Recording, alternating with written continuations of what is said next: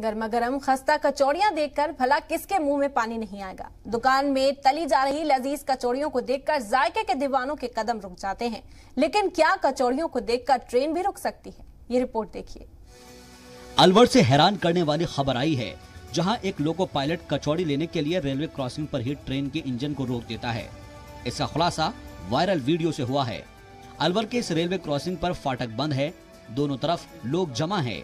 अब रेलवे की पटरी के पास पहले से खड़े इस शख्स को देखिए, जिसके हाथ में एक थैली है, इसमें कचौड़ी है।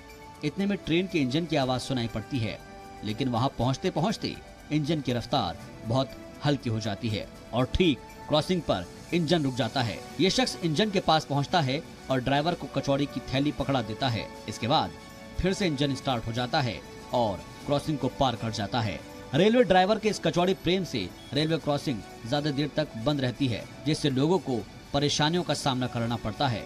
वीडियो वायरल होने के बाद रेलवे इंतजामिया ने एक्शन लिया और स्टेशन मास्टर समेत पाँच लोगों को सस्पेंड कर दिया है। Bureau report, Zee Media.